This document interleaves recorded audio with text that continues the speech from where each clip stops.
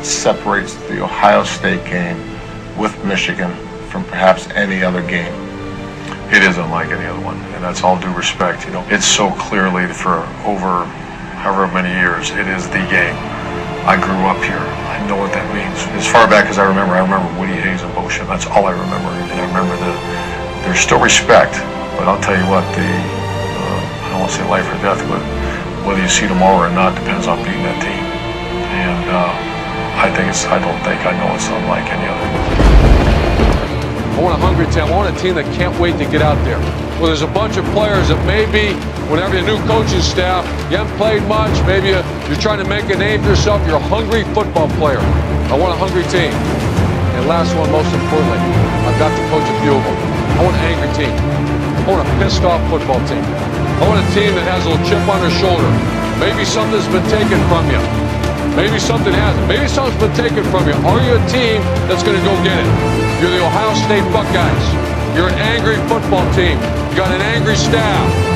You got a bunch of guys that are getting ready to start a journey. We're starting that journey tomorrow at 5 a.m.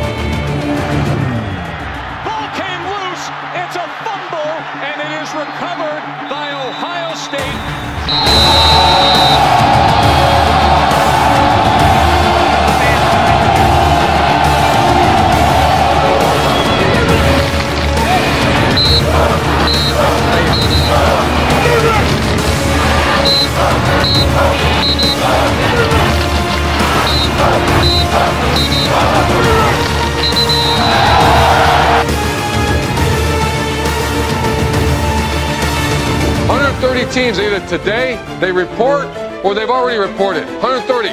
16 weeks from now, there's going to be one champion. One champion in our conference, one champion on the side of our conference.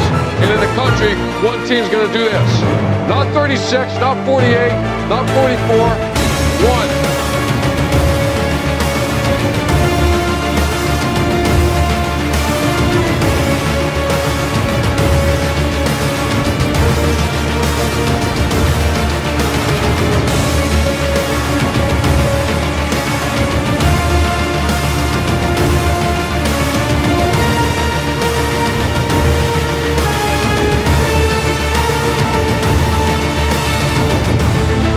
Objective is simple, to make the state of Ohio proud, recruit student athletes who win in the classroom and win on the field.